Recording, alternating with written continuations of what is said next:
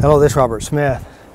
As you can see, you can see down this road, and this is uh, was a part of the Game of Thrones, which is the Dark Hedge. I'm going to answer some questions people have asked me, and one of the questions is from Sadie. It says, um, "How do we find the magic question about health and disease? I want to be healthy and vibrant, energetic again." Please, I've watched Heather's videos but have noticed that there's no specific aiming questions for this.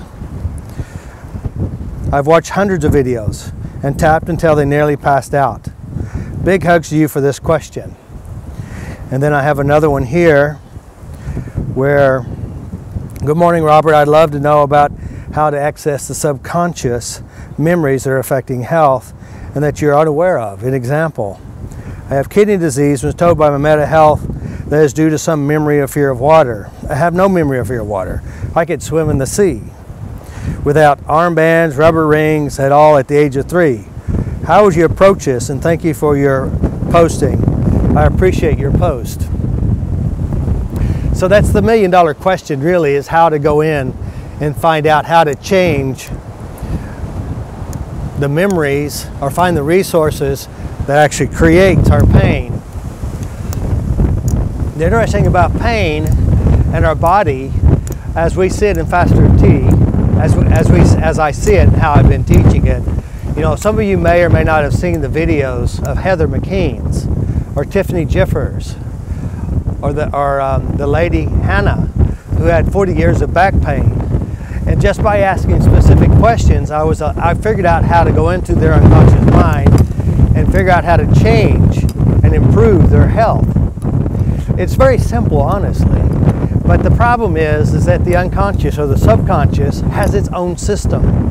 It has its own references and proofs and how it creates pain.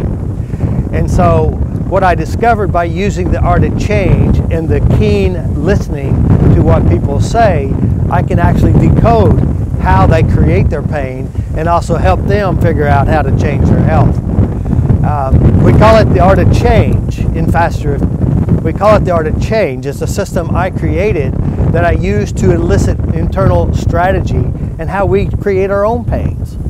So it's very simple to do when you understand how the mind works. Because see, oftentimes our pains do not have logic from our logical understanding, but has perfect logic in our unconscious. And so, you know, how do you do that? Well, first of all, you know, I have trainings available. I have an online course, The Language of the Body, basically how the mind will use the body to create illness.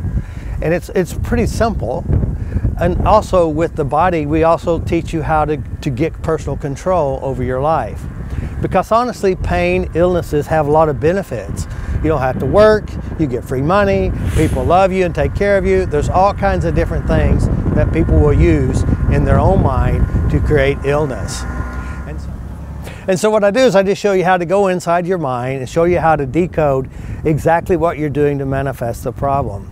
Um, it really breaks down to several areas. One, what you, what you feel inside you, the internal processing of the illness and the value system you're getting from it, the benefits, the pain, the pleasure, the love, the care, the escape, the connections with people you love, and also your own pain your hurts, your traumas, but you know how to change and resolve. This is Robert Smith here in Ireland. Talk to you later.